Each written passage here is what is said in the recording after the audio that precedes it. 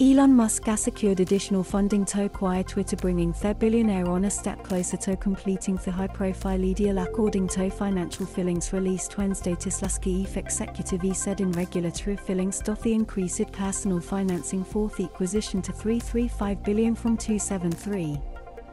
Iraq commitment to provide additional funding for the deal he said in filing Musk a 125 billion margin loan from Hess of Heis Electric maker Tesla to fund purchase of Twitter to reduce it to 65 billion earlier this month after bringing in co-investors the latest feeling comes after Musk said last week's. To shareholders gathered for regular meeting Garvich and Musk's plans to buy the social media platform is not on the agenda but is expected to take place here. E-companies impact on civil rights on non-discrimination and Kalidan anti-racist program aimed at building racial social justice is grossly racist